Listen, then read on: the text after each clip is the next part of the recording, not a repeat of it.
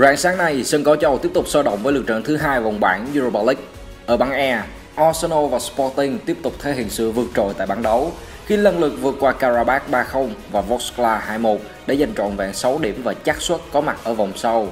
Còn tại bảng L, Chelsea cũng vươn lên vị trí số 1 bảng xếp hạng với 6 điểm khi đánh bại VD 1-0 ở lượt trận này. Xếp sau họ lần lượt là PAOK và Pate Borisov với có cùng 3 điểm.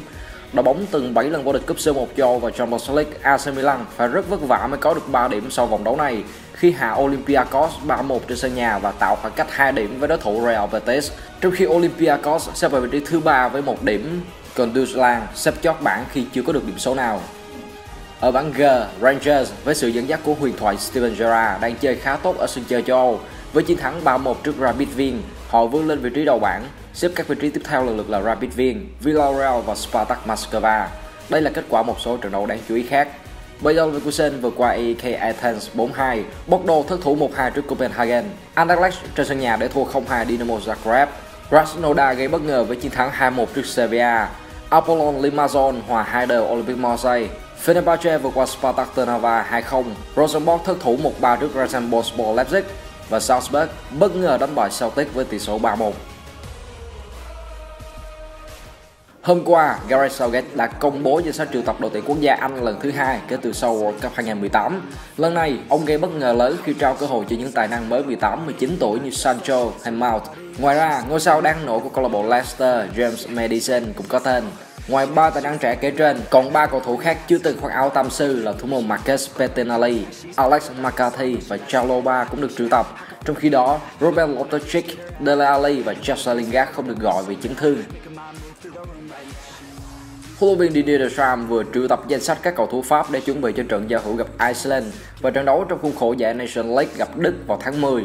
Theo đó, Mamadou Sakho, Kirk Zuma và Lucas Digne bất ngờ được gọi trở lại. Đây là điều dễ hiểu bởi cặp đôi Samuel Umtiti và Adil Rami đang dính chấn thương. Cá nhân Paul Pogba dù vẫn đang đạt phong độ không tốt và xảy ra xung đột với Jose Mourinho tại Man United, nhưng anh vẫn là cầu thủ đóng vai trò quan trọng trong tuyến giữa của những nhà vô địch World Cup. Luis Enrique hôm qua cũng đã công bố đội hình triệu tập Tây Ban Nha. Theo đó, ông tiếp tục không triệu tập cậu học trò cũ ở Barcelona là Jordi Alba lên tuyển, tham dự hai trận đấu gặp Wales và Anh. Cùng chung cánh ngộ với Alba còn có Diego Costa của Atletico Madrid. Không gọi Alba, huấn luyện viên Enrique đã bất ngờ trao cơ hội cho những Marc Patra, Real Betis hay Paco Alcacer của Borussia Dortmund. Cùng với đó là sự góp mặt của tân binh Jonathan Castro đến từ Wolverhampton.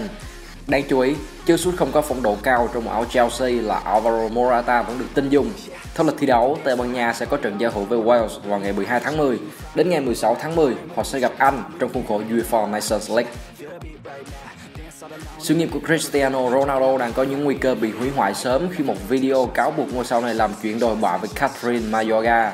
Ngay lập tức, Ronaldo khẳng định mình trong sạch và bình thản chờ kết quả của cuộc điều tra nhắm vào ngôi sao của Juventus. Sự việc xảy ra trong một khách sạn ở Las Vegas vào năm 2009 và cảnh sát cũng đã tiến hành điều tra lại vụ việc này. Theo tạp chí Der Spiegel của Đức, nơi đã đưa thông tin về vụ việc này, họ thông báo rằng Ronaldo đã trả cho Catherine 287.000 bảng để bịt miệng người đẹp và ém nhẹm vụ việc.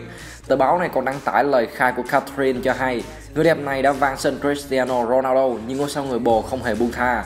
Dù đã lên tiếng phủ nhận cáo buộc, song nó đang ảnh hưởng khá nhiều đến hình ảnh của cầu thủ người Bồ Đào Nha lẫn câu lạc bộ Juventus.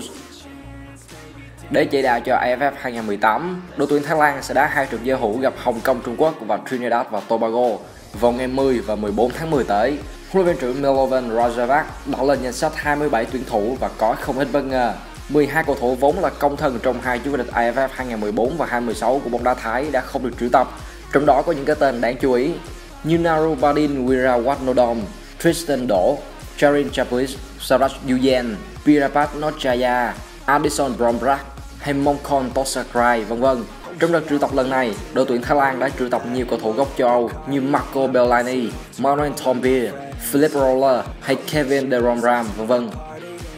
Trong khi đó, do vòng 26 V-League 2018 được điều chỉnh đến ngày 8 tháng 10 nên danh sách triệu tập đội tuyển Việt Nam chuẩn bị cho AFF 2018 sẽ được huấn luyện viên Park Hang-seo công bố vào ngày 9. Thầy Park sẽ chỉ triệu tập 29 tuyển thủ cho đội tuyển Việt Nam trong danh sách sơ bộ 50 cái tên đã được ông và các trợ lý tuyển chọn. Theo kế hoạch, đội tuyển Việt Nam sẽ bắt đầu tập trung tại Hà Nội từ ngày 11 tháng 10. Tuy nhiên trong những ngày đầu hội quân, huấn luyện viên Park Hang-seo sẽ chưa có thể có trong tay lực lượng đầy đủ nhất. Lý do là bởi một số tuyển thủ phải khoác áo câu lạc bộ thi đấu trận bán kết lượt về cúp quốc gia ngày 11 tháng 10 và trận chung kết vào ngày 15 tháng 10. Phải đến ngày 16 tháng 10 đội tuyển Việt Nam mới lên đường sang Hàn Quốc tập huấn, thầy Park mới có được lực lượng đầy nhộ. Thầy Park mới có được lực lượng đầy đủ và mạnh nhất với 29 tuyển thủ.